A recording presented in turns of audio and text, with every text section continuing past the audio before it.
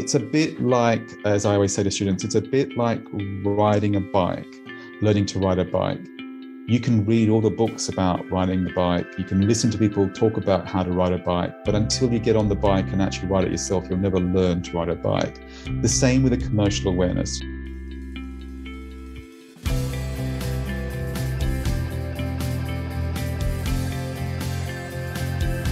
Everyone, and welcome to the Student Lawyer podcast series. Whether you're at school, sixth form, university, thinking about a career in law, or exploring law careers, you're in the right place. We are the one stop shop for student lawyers.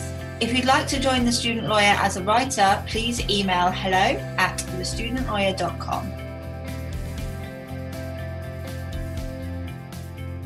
This episode is sponsored by the University of Law. What really sets the University of Law apart from other universities is its belief that its students should learn in a realistic, professional, and contemporary context. They focus exclusively on practice based training and give students access to their extensive career service and jobs vacancy database as soon as they accept a place with them.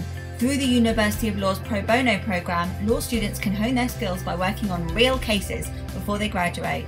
The University of Law offers a range of postgraduate legal training and master's degrees designed by qualified experts to help students advance at any stage of their career. Their courses are employment focused, honing key skills in a teaching environment based on real legal practice. Part time and online study options are also available on many of their courses to help students work and study at the same time. To find out more about the courses on offer, click the link in the description box of the podcast. Everybody. Welcome to today's episode of the Student Lawyer Podcast. My name is Stephanie, and I am the host of today's show. On the episode today, I'm joined by Denis Viskovich. Denis is a dual qualified Australian and English lawyer with over 20 years of experience working for investment banks and companies in the City of London and Mayfair. He is also the founder of the British Inter University Commercial Awareness Competition, the largest commercial awareness competition for law students from the non Russell Group of universities in the United Kingdom, as well as the founder of Future City Lawyers, an educational program and online platform which teaches legal commercial awareness to future city lawyers. On the show today, Denis shares with us his career journey and explains what an in house lawyer at an investment bank involves, the importance of having commercial awareness and how to get it, and the wonderful initiatives that he has launched, such as BUCAC and Future City Lawyers. But before we start today's episode, we would love for you to follow us wherever you get your podcasts from. The more followers we have, the larger audience we reach, and this means we can help more student lawyers secure their dream job. Also, don't forget to leave us a rate and review on iTunes for the chance to have a shout out on the show. And that reminds me, we would love to give a big shout out to Vic Wilson. Vic said that the podcast is a great way to learn about the legal industry and is the go to podcast for every aspiring lawyer. Hi, Denis. Welcome to the Student Lawyer Podcast. It's great to have you on the show. Thank you very much for having me, Stephanie. It is a pleasure. And I've been really looking forward to this episode for a very long time now. So I'm very excited to have you here. So, why don't we get started with uh, just hearing about your career journey to date? So, as you know, Stephanie, I'm Australian. I've been here 20 years. I'm a dual qualified Australian and English lawyer. Uh, I arrived here many years ago, you know, as lots of Australians do, to come here and experience living in London and working in London. So, I, I qualified in Australia as a solicitor I went to university in Australia. I ended up working for uh, my training or training contract at a uh, Parker and Parker, which was a sort of, I would say, one of the leading law firms in Australia at that point, and now a part of Freehills, and now that's part of Herbert Smith Freehills. And so um, I did, I, I finished my training there, and then I traveled to London, and you know, being an Australian coming to London, I didn't quite understand what the city of London did. Of course, I knew a little bit about it, but I had no idea what it was about. And fortunately for me, I got a job at an investment bank, and I wasn't I wasn't particularly aiming at an investment bank, but I got an investment I got a job at an investment bank as a in-house lawyer, and that opened my eyes to a whole different world. I mean, you know, day one, I was dealing with hundreds of millions of dollars of deals, which you know, of course, I'd never been exposed to that sort of level dealing with investment bankers uh, and, and all the bankers that go with that, and the clients, uh, who high profile clients, big companies, governments, uh, all that sort of thing. And so um, the aim was really to stay for a few years and then go back, to be honest. But what happened was I, I, I came just at the right time when the economy started taking off. And of course, uh, uh, uh I got promoted, I got bigger bonuses. And of course, that carrot at the end of the year got bigger and bigger. Uh, and I just thought maybe one more year, maybe one more year. And so 20 years later, here I am still here. So I'm, you know, clearly not going back. I'm going to stay because obviously I enjoy it. And so I mainly spent most of my career in investment banking as a, as a lawyer, working up to become head of legal of one of the legal departments, uh, mainly concentrating on, uh, we'll talk a little later of what I did. And then ended up working with some, a very wealthy family here in London and then and then ended up a few years ago leaving and uh, started lecturing at different universities. We can talk about that a little bit later. What a fantastic career journey! I I just think it, it is very inspiring everything that you have done and accomplished, um, and it all sounds very very exciting. Um, I must say I I would have probably given up the Australian sun and the weather for this exciting career that you have um, had and still have. Uh, but would you just uh, go on to explain the reasons why you did decide to pursue a career in commercial law? So, you know, of course, I, you know, I do miss the Australian sun, and of course, I miss my family and my friends, my university friends. But on the other side, as you said, I've, you know, I've I've had some amazing experiences. I've worked on massive deals in Russia, Kazakhstan, Ukraine, uh, Middle East, South Africa, Eastern Europe, the Nordic countries, and I've met you know some high-ranking people and influential people, some C- big CEOs of some of the largest companies in the world. You know that was an amazing thing. And you know at one point I was traveling to Moscow quite on a weekly basis and of course, but the problem with that is, is when you are working in the city, whether in a city law firm or as I was in an investment bank as a lawyer, it is high high intensity high long hours very intense because of course when the deal is on and the deal has to complete next thursday and there's a hundred million dollars on the table the client expects you both your client your bankers everybody in the deal expects you to finish on time because mm. the client needs that money so it is extremely high pressure so to answer your question um, there comes a point in time where you just think, you know, I've done it, I've seen it, I've really enjoyed it. I would like my weekends back. And so, uh, four years ago, I made the dramatic decision to uh, uh, to leave the city and uh, do something different. And I'm going to be honest, when I took that decision, a lot of my friends said to me, "Are you crazy? What are you doing? Why are you getting on? Why are you leaving?" I just think I had to I had to try something else, and I just wanted to. I wanted to, as I said, I wanted some I wanted my weekends back and I wanted some normality back in my life. And, and not not not to say that that's always the case. I'm not saying that mm. you're working all the time, but there comes a time you need to try something different. And so um, I then tried to do something different and, and ended up being a, a lecturer at university on this on this commercial awareness topic.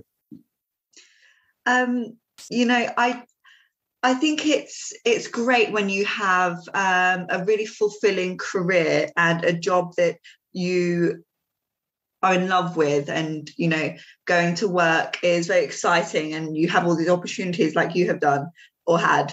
Um yet still having that inkling that you now know or think it's time to move on and try something new it's still very takes a lot of bravery i think to make that transition even though you think you know it's the right time. Um you're clearly very kind of decisive and know what is right and you correct me if I'm wrong, but it sounds like you really kind of like go with your gut as well as thinking stuff through, of course. True, um, true. It, I think it's great that you are able to make those decisions uh, that have taken you from a very exciting, fulfilling career, and now you're able to help um, other people also harness the the same.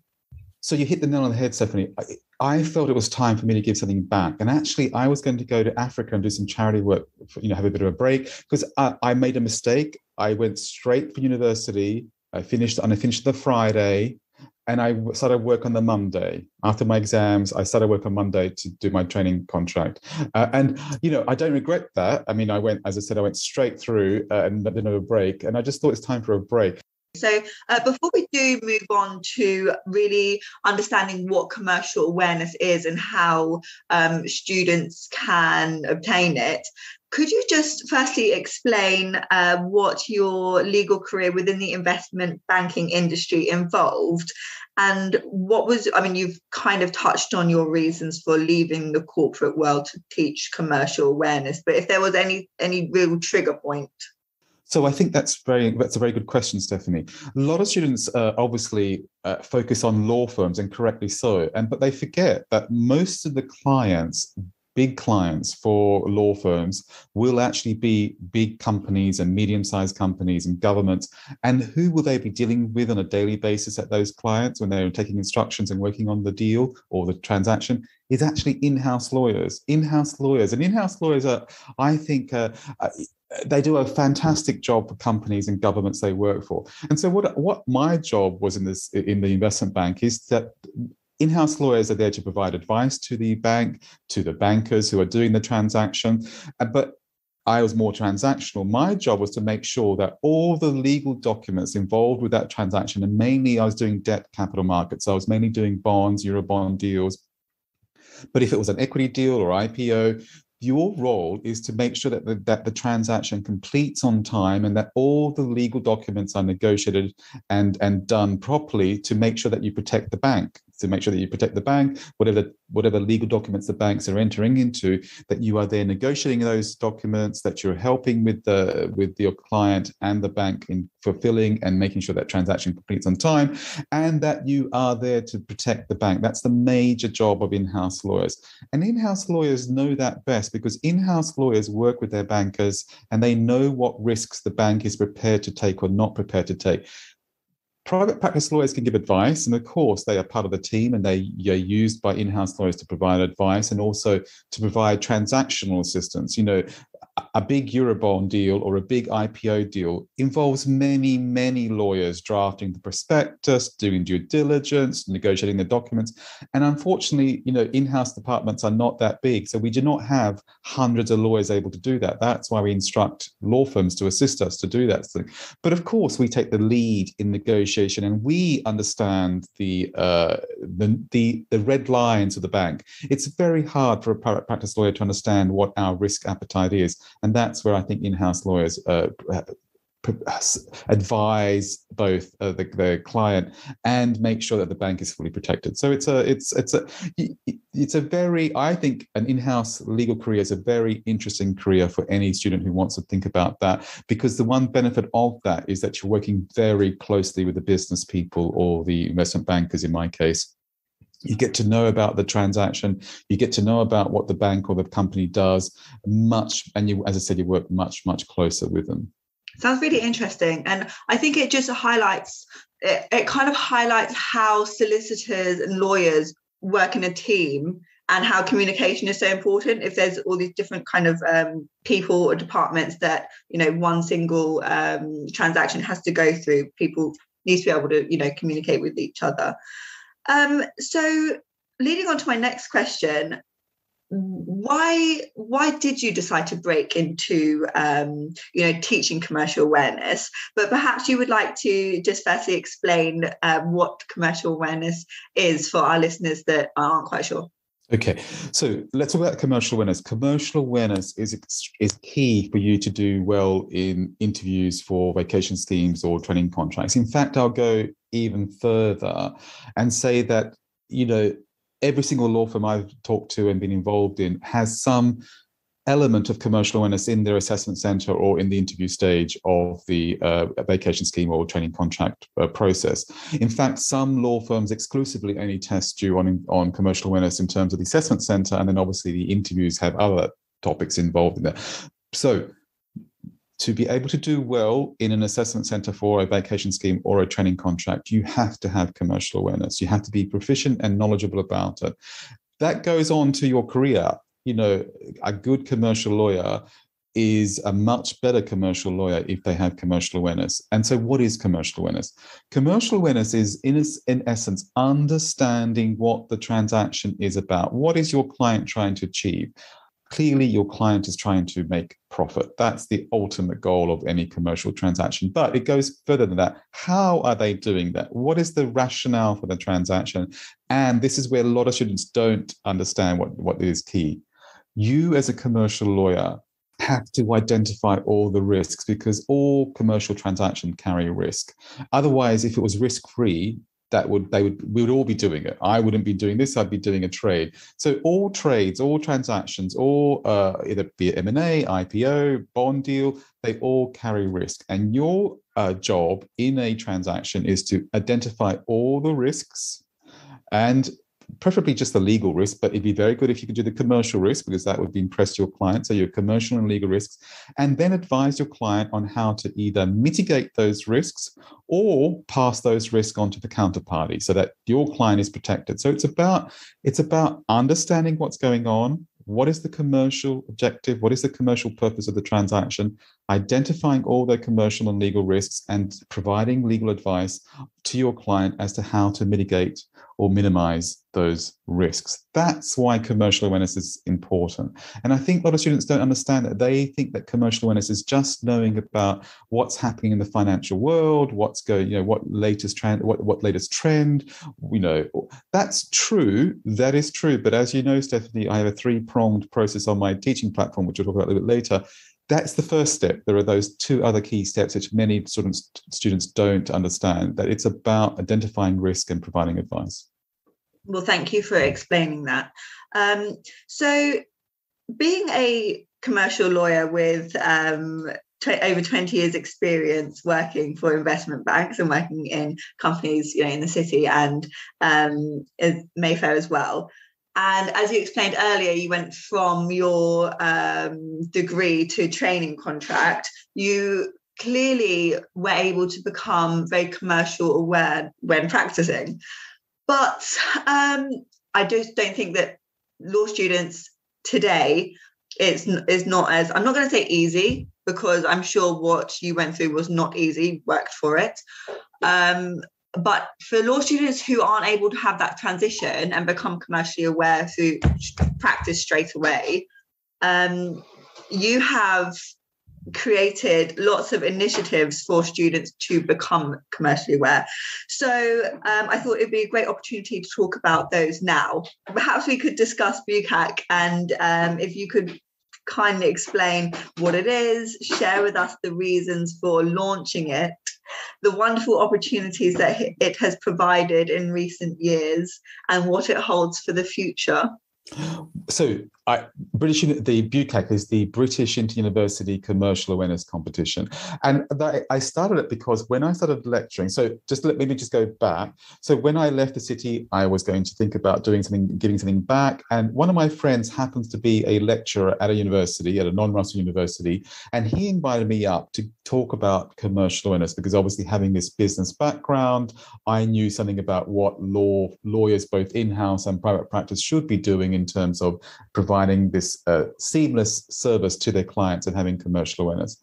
And to my knowledge, it was just going to be an afternoon lecture, and I thought maybe I thought maybe 20 people would turn up, and I would talk about this. Over 200 students filled the lecture hall and they after my lecture they wanted more. They talked to this the senior lecturer and he invited me back and that's where this teaching started because i think there's this massive um, a lot of law schools don't have or don't teach commercial awareness so that's where I started uh, teaching commercial awareness. How did BUCAC arise? BUCAC arose because actually, after one of my lectures, when I was lecturing on commercial awareness, I had a female student come up to me and started crying.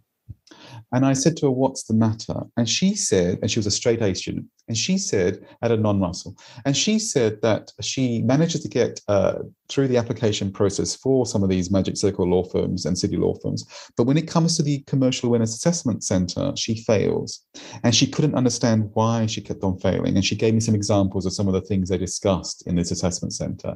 And clearly, the things they discussed or the case scenario they gave in these assessment centers to her were not covered by the law school So mm-hmm. she was on her own. And I thought, well, I need to do something because I, I thought that there's this, there's this pool of amazing students at non-Russell universities who sometimes are overlooked by some city law firms. And I think that's a really sad situation because the stats bear this out. 85% of city grad uh, city training contracts are awarded to Russell Group universities. Five percent are foreign, such as Australians, Kiwis, uh, Irish, etc leaving about only 10% for non-Russell student law students. That cannot be right because the non-Russell law schools compose about 80%, 80 to 85% of the law schools. Not the Russell group is only about 24. There's about there's about 80 odd non-Russell law schools. So the, the stats are completely the opposite way around. You know, 10% of graduates are getting jobs from non-Russell Group universities in the city, and, and 85% are coming from the Russell Group. Well, there, there's something clearly wrong.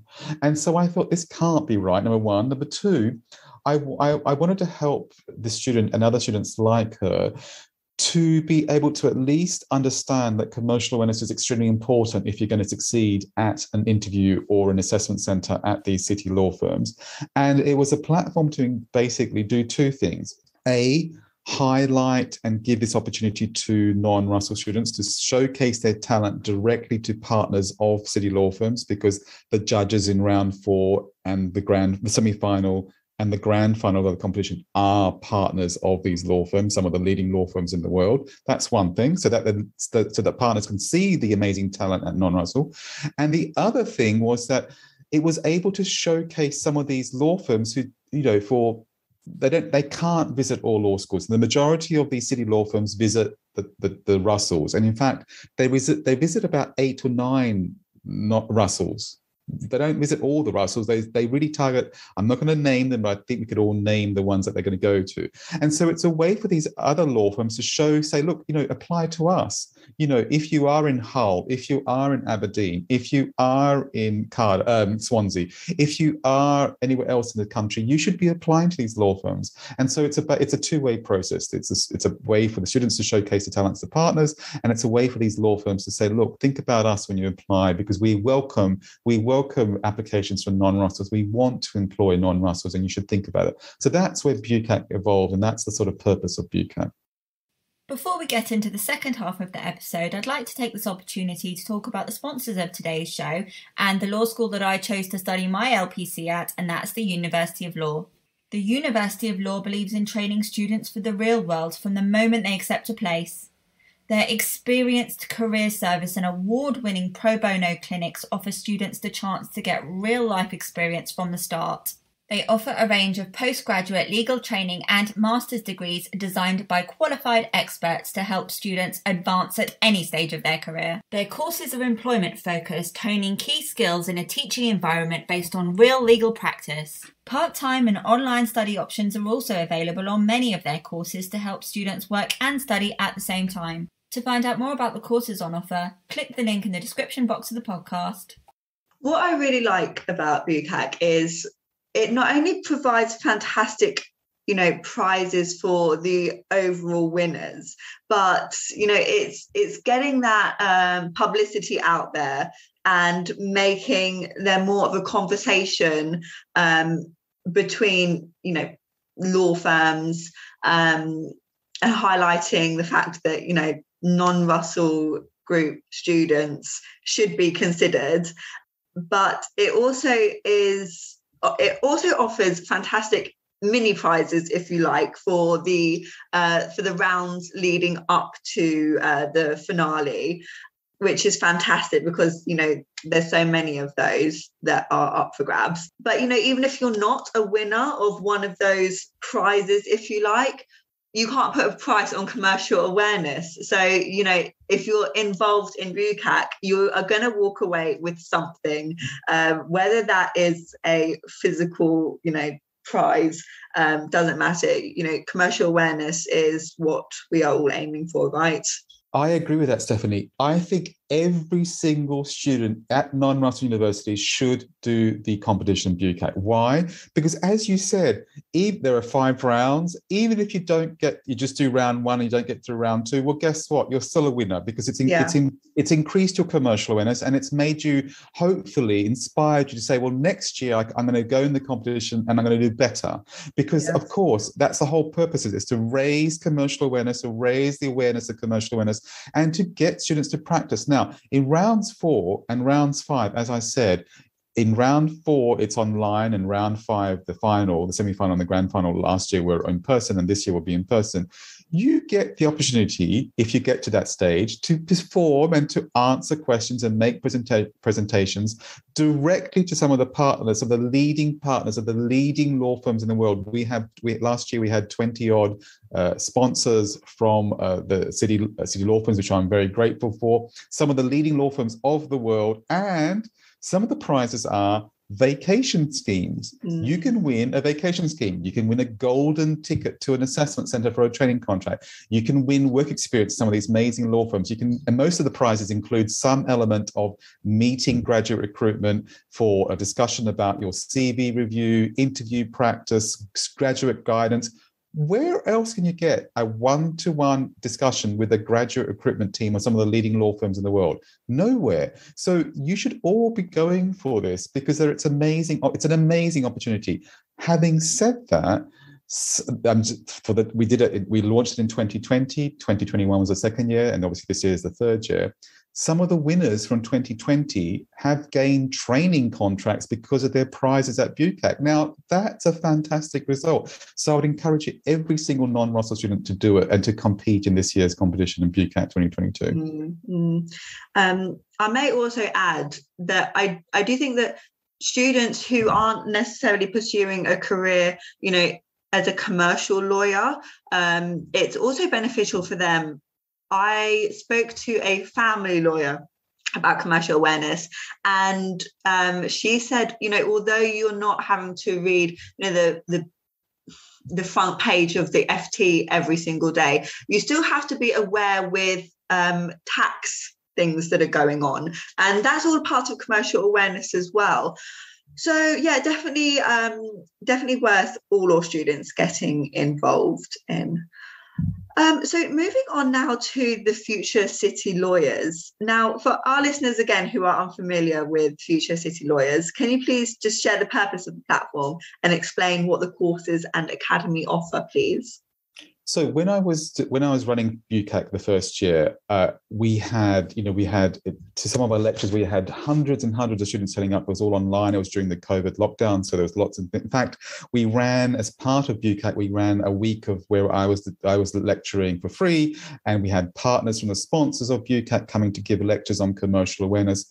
We had some some days we had over a thousand students on Zoom listening to us talk about it, and so what I was getting from that was that students were staying at the end of those lectures and asking me to come and lecture at their universities. And I do lecture at some universities. I lecture at non-Russell and Russell, including Exeter, Liverpool, uh, uh um, Essex, City, Birkbeck, and other other uh, uh, law schools but I can't teach it. I just cannot teach at 40 or 50 law schools. It's impossible for me to do that. So that's where Future City Lawyers came about. It was, it was, it's a, a it, I do have to charge the client uh, students for the courses, but it's a way for students who don't have access to any teaching of commercial awareness, because we'll come back to that. Teaching of commercial awareness is extremely important, and we'll come back to this in a minute. Um, it's a way for them if their law school's not able to get to you know hire me or other people to come and talk about not just talk about teach there's a difference between talking and teaching commercial awareness uh, then they can come on future city lawyers and undertake the courses there. We run two courses there. We run an introductory course and then we run the academy the commercial awareness academy.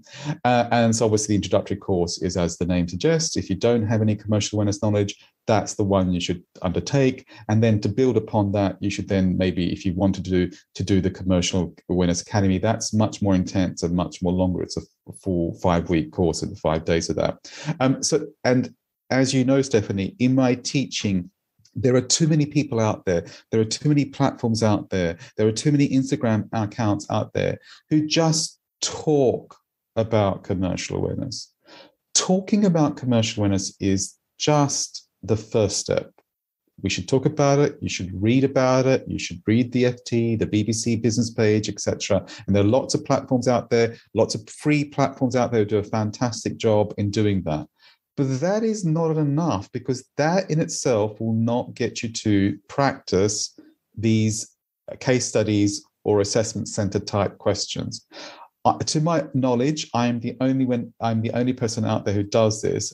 I always do a lecture followed by a case study, a group exercises where students are given a certain case, a, a facts, a hypothetical facts, and they then are split, split up into groups, and then they come back and they actually do the task or undertake the task.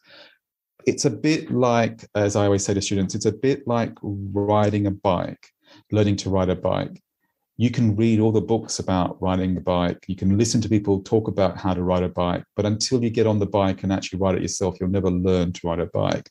The same with a commercial awareness. You can listen to people speak about it. And I would encourage you to do that, but I'd also encourage you to then think, well, actually, I need to try this myself. And I would then encourage you to do these group exercises or case studies. And then in my uh, in my courses, as I think you know, Stephanie, because I think you came to one, and I think you were slightly uh, in shock at what I do. I give direct, honest feedback. Why do I do that? A, because I'm Australian. We, we, that's how we are. We just we that sort of we just do that. We just give honest, direct feedback. But secondly, more importantly, I always say to my students, isn't it better that you make the mistake with me make the mistake with me, learn from that mistake so that you don't make that mistake in front of a partner or a graduate recruitment in an assessment center or interview. That's my job. My job is to increase your commercial awareness to uh, then test it. You know, if you give me an answer and I don't think it's, you know, totally correct, I would ask, I will stop you and ask you, what do you mean by this term? Why did you say that? That's the way you can improve your commercial awareness through actual practical experience yeah, I agree. I do think that um, doing is much better than you know discussing. Actually, say that discussing is great because it's doing as well, but talk, just talking about it it does help a lot. It makes you think and it makes you generate ideas.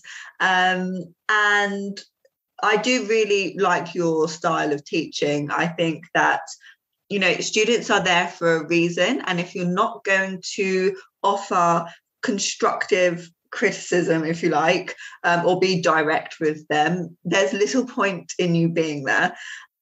But but you know as i say to students you only have that 10 minute or 20 minutes or 30 minutes you've got in front of a partner of a law firm to impress them there are no second chances. There are no second chances.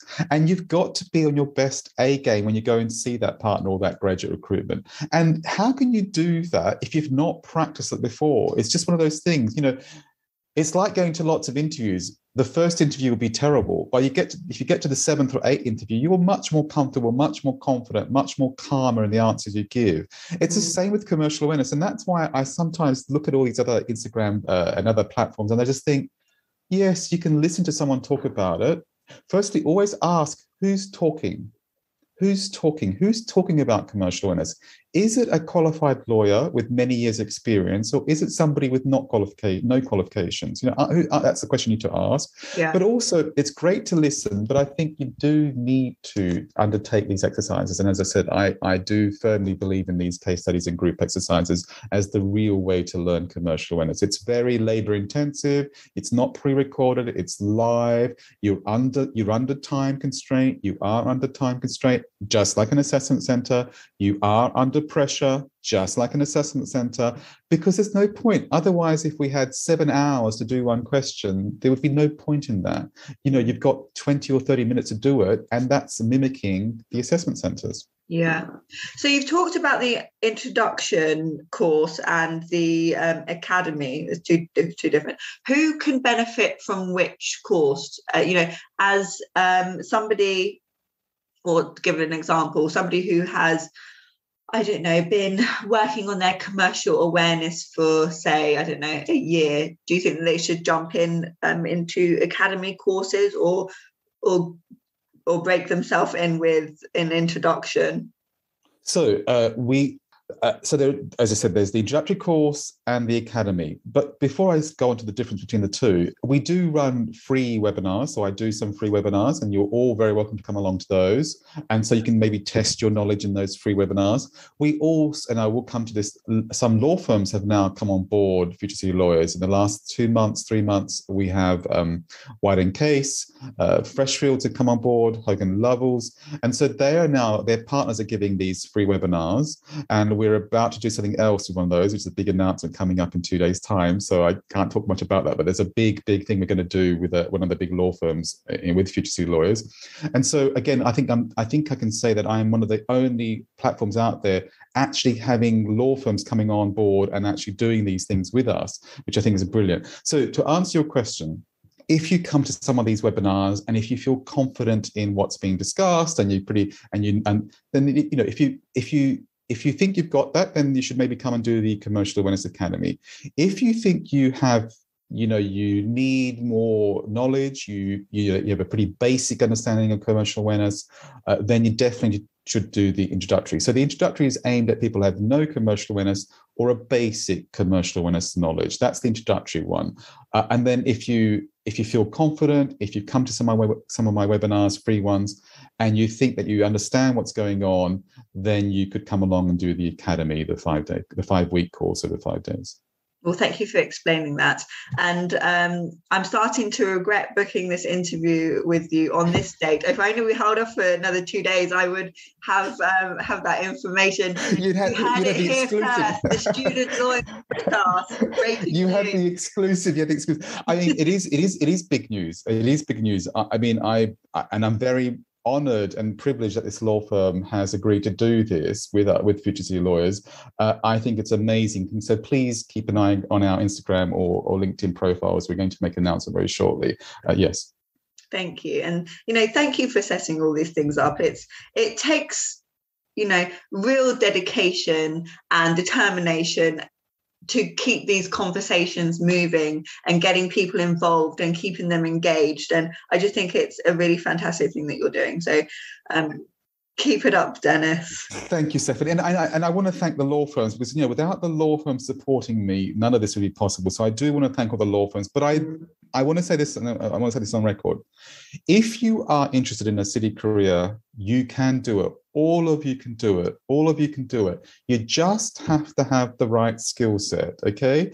And that takes, as Stephanie knows, that takes a lot of time, a lot of dedication, but the rewards are amazing. And I think you can do it. So don't be put off. Don't be put off. You know, you may fall down on a few hurdles. Just pick yourself up and keep on going because you will get there, but you mustn't fool yourself. That's what I want to make sure.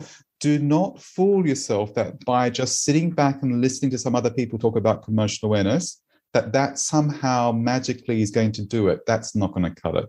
You have mm-hmm. to be able to prove that you can do and understand commercial awareness and you have to prove that in an assessment center. And it's not about you listening to you know lots of other people it's actually about doing as we discussed before.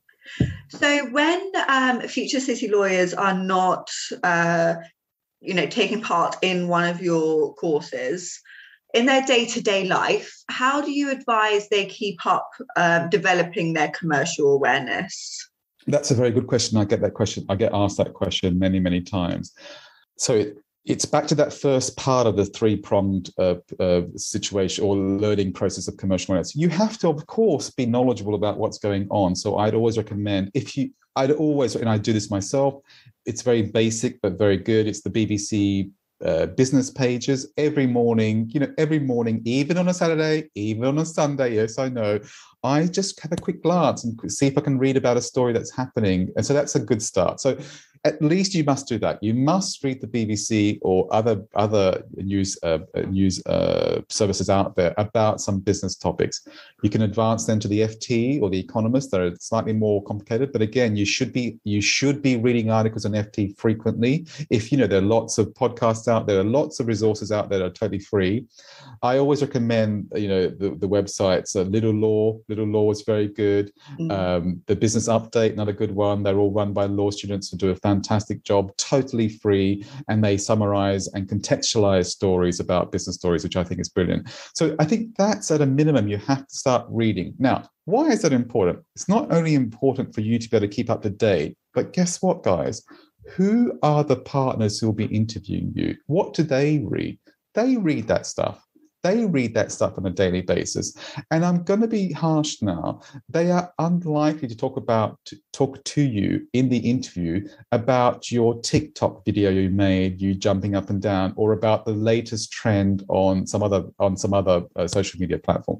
They will talk to you or expect you to know about stories that they or their law firm's interested in. And that's why it's important that you do know about this. So, you have something to talk to them about if they ask you about some topic. You could always bring in an interesting story that you recently read on that topic, be it oil and gas, be it ESG, be it whatever it is. You'll only be able to do that if you keep up with the news and read these stories. Yeah. And I think keeping up with it is so important you you know i found it actually quite difficult to read an article in the ft when i first started my um first started my journey into law but i just kept on going and going and going. And although i have always enjoyed you know reading what is going on in the business world even when it was extremely difficult to understand in that first article the more I kept going, the more enjoyable it became. And I came to, uh, well, it just confirmed that this was the right um, career for me to go in. And you know, you you joke about like reading it on the Saturday and the Sunday. I love tuning into the FT um, briefing on the Saturday now. They do on a Saturday, but it's more kind of um, uh, cultural trends. So keep on going, as you said. You'll get better.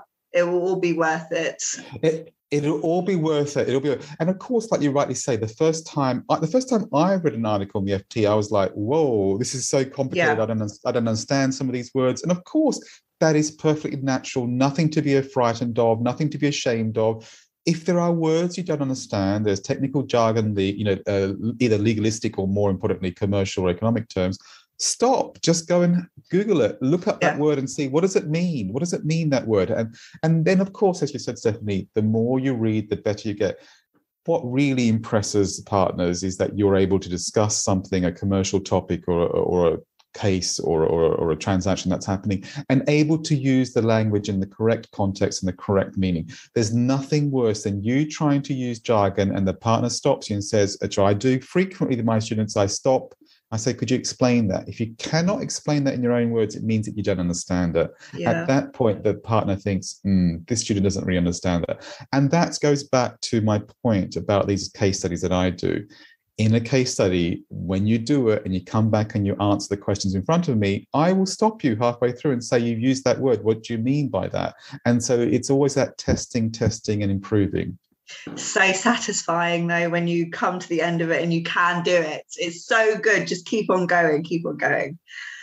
Um, so how should uh, future city lawyers who have secured a training contract now adapt well should they adapt their approach in developing their commercial awareness or um, should they just you know carry on with what they've been doing? So my advice to you as, a, as obviously as a former head of legal is that commercial awareness is something that you will have for the rest of your careers. You have to improve upon that because there'll be new legal developments, new commercial developments, new transactions. And if you're not up to speed, just put yourself in a room with a client and the client asks you about a transaction or a deal that he or she's read in the FT and you have no clue about it. You look silly you look silly, your law firm looks silly, your partner's embarrassed that you don't know about it. You do need to keep up to date. So you do have to continue to read the FT because don't forget, you're in a competitive world. If law firm X is doing a new deal with a company A, a company A, company B comes along and says, Well, I like what company A did. Can your law firm do what company X did? If you don't know about that, your law firm looks silly, you look silly. So of course you've got to keep up with all the, the recent things and the developments. It's it's an on 20 years on, I'm still learning about commercial awareness. In fact, I'm getting involved in something else at the moment. It's a brand new topic for me, a brand new set that I didn't know anything about. And it's so yes, we, you've got to you've got to continue to read the FT, read uh, read as much as possible, and and be inquisitive be inquisitive about other t- there will be, there will be nothing more impressive that if you come in one morning to your partner as a two or three year qualified and you say, I read this other transaction on this other, on you know, whatever platform or FT. Why don't we as a law firm start specializing or getting more expertise in that area? Because I can see it a growing sector and we should maybe go and target company A, B, C, and D about this. That's what it's about. It's about showing how innovative and differentiating, di- trying to differentiate your law firm from all the other law firms out there. So, yes, you've just got to keep on going with that. Well, thank you for um, giving your advice on that. So, going back now before you secure a, a training contract, what are your top three interview tips? I always get this. I get this question a lot as well, and so I did think about this when you gave me the list of questions, Stephanie. I think the first, the first thing, the first one is, and and you know, uh, a lot of students will be uh, slightly shocked at what I'm about to say. You know, you get a lot of things saying "be yourself," "be yourself." Mm. Yeah, that's the advice that some people say: "Be yourself." My advice is, be yourself, but remember who you're speaking to you're not speaking to your mates at a pub, you're not speaking to your mum, you're not speaking to your boyfriend or girlfriend. You are speaking to, you know, a 55, 60 year old partner. He or she in a law firm has been there for 30 years and they are very experienced and very knowledgeable about the work. Think about who you're addressing. So that's the first thing. Of course, be yourself. No one's saying you should pretend to be somebody else, but be yourself in the context of you are trying to get a job at this law firm you the competition is really fierce out there. The competition is huge.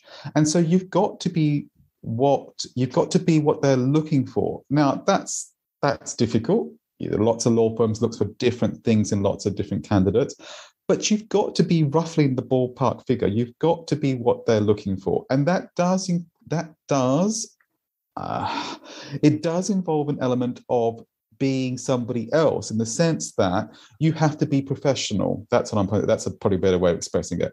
You have to be professional, and to be professional, there is a sort of baseline of professionalism. So you have to go up to that line, and because your partners and your clients will expect you to be professional. They won't expect you to be yourself in the sense that they won't expect you to come along wearing a beanie or a you know a cool cat and you know in the you know in showing them what skateboarding tricks you can do. No one's asking you to do that you have to then t- you have to be professional and and give them a seamless professional service just like you would expect of your of your doctor of your of your plumber well maybe not your plumber maybe your maybe your hairdresser your beautician. There are certain things that you have to expect to be professional and the same with the legal sector. So that's my first tip. Second tip please, please research the law firm you're going to go the interview. You know, please understand the law firm. And that's not just about you know, oh, you know, this law firm does M&A or this law firm does banking. It's got to go much deeper than that. It's got to go, you've got to understand all the departments. Why is that important? Because they may ask you a question about what services can our, our law firm give a potential client. And if you don't know all the divisions or the departments, you look pretty silly. If you just know that they've got a banking department or a litigation department and there are lots of other departments, well, clearly you don't profess to know that law firm. So my my point is lots of law firms these days tell me, and I speak to graduate recruitment a lot, that they want you to to convince the partner that that you want to work for that law firm, not for law firm B or law firm C or law firm D, for their law firm. And you need to know about their law firm. You need to convince them that you want to work at their law firm. And so I do think you need to look at the, the departments, the partners involved, if you can, if you know some of the big partners, and their clients what sort of work do they do? Who are they working for? Are they working for small startups? Are they working for big oil or national, international oil and gas companies? What are they doing? So you need to know all that stuff. So that's my second tip. Please, please research the law firms a lot. And it, I know it takes time. I know it takes time, and it's you know you're doing lots of applications, but put yourself in the law firm's position if they see a candidate who knows their law firm very well and is and you know has immersed themselves in the law firm, that can only get you positive things. You can only do positive. So try to do that. And the third thing, and this is the third thing, don't ask law firms what they can do for you. Tell law firms what you can do for them. Now, I know that lots, I do come across law students who tend to think about what, you know, they ask about the culture of the law, of the law firm, what the law firm can do. I mean, I had some students ask me that they would ask a partner, you know, what's their what's their career progression in that law firm those are all important questions which you can either research on their website or you can go to different other uh, uh, online platforms. You can find lots of information for. the. I don't think you should be asking that partner of those questions. I think you need to market yourself. I think you need to tell the law firm if you get the opportunity what you can bring to the law firm. Now I know that some of you, are, you know, still law students, and you know, but you've got to think about how you can help that law firm prosper as a business and what you would do if you were employed in that law firm. That's hard. That's really hard. So I think that's the focus. Don't don't ask so many questions about what the law firm can do for you. What is it that you can bring to the law firm? What would you like to do if you get a job at a law firm? And I think that definitely, definitely will stand you out from the crowd because too many students focus on what the law firm can do for them. That, that's my three tips absolutely incredible advice. You know, somebody who has just been through the interview process, I would just like to um, assure listeners that everything that Denis has just said, you know, is very valuable, and I would really take it on board because you just you, it's very important that you um, have all that down and have exactly what the law firm does um, on the you know the, ready to roll off the tongue and don't forget, Stephanie. So this is where this is where I said uh, a minute ago. I said always ask who's talking about commercial awareness. To whom are you listening to when you go to you know, when you go to these webinars or these other you know Instagram posts? Who is it that's talking? Is it someone who's either not a qualified lawyer or someone who's just one or two years ahead of you or is it someone who, like me, has spent many years interviewing lawyers, interviewing bankers, you know, doing this? So I think I know a little bit, a little bit about how interviews work and what you need to do. And is it someone who's working with law firms, or is it someone who's not look, working with law firms? I think it's very valuable to just ask that question of yourself when you listen to someone speak who is this person? What experience do they have? Have they run a department? Have they run a uh, legal department? Have they run? Have they worked as a partner, a law firm? Who are they? And if the answer is no, then you've got to think, hmm, do they really know what law firms or what interviewing is like? Because they probably have never done it. I've, you know, I've interviewed hundreds and hundreds and hundreds of lawyers uh, and other bankers and professionals over my years. So I do think I know a little bit about interviewing. Um, I think you know more than a little bit, Denis. now, just moving on, unfortunately, to my last question. Unfortunately for me, anyway, um, and the listeners, would you be able to give us any last words of wisdom that you have for us today? You, you know, you know, I'm I'm a newbie on the block in some respects. You know, there are people out there who've been doing it many long, many more years than I have. I've been I've only been doing, you know, teaching and, and working with law students for the last couple of years. I'm going to say this.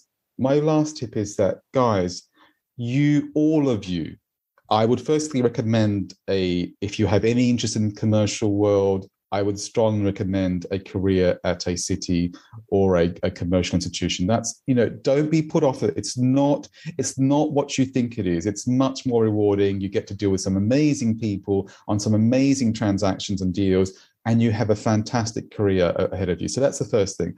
And the, and the second thing is every one of you, if you have that aspiration, look at me a poor country boy from the outback in the middle of nowhere. You would not believe where I grew up. You would not believe where I grew up. I mean, in the literally in the middle of nowhere. So look at me, you know, as somebody who came to this country and and has done, you know, moderately okay, you know, done okay. But I think my my point is you guys have a golden opportunity here. Here you are being educated in some of the best universities in the world, both Russell and non-Russell. I'm going to say that some, you know, some fantastic universities you can definitely do it. You just got to make sure that you open your eyes. It does, as Stephanie said, it does take work. Unfortunately, it does take work. But if you prepare to work and do and fall, you know, you will fall sometimes and pick yourself up, dust yourself off, and keep on going. You are the the the the city will welcome you, and you will do a fantastic, and you'll have a fantastic career, one of the one of the leading financial centers of the world. So I would encourage you all to do that. Thank you very much. And thank you for sharing all of your fantastic advice. Um, I have had an I've had a really good time chatting with you today. Um, and I just want to say thank you for coming on the show. Thank you for having me, Stephanie, and I hope your listeners uh, have learned something about a, the importance of emotional awareness and obviously what I'm trying to do. But thank you very much, Stephanie. Well, thank you very much. And thank you, everybody, for tuning in today. We will see you back here next time. Thanks, everybody.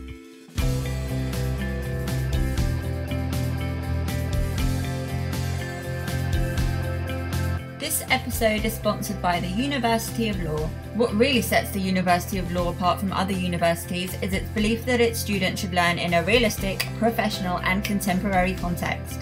They focus exclusively on practice based training and give students access to their extensive career service and jobs vacancy database as soon as they accept a place. Through the University of Law's Pro Bono program, law students can hone their skills by working on real cases before they graduate.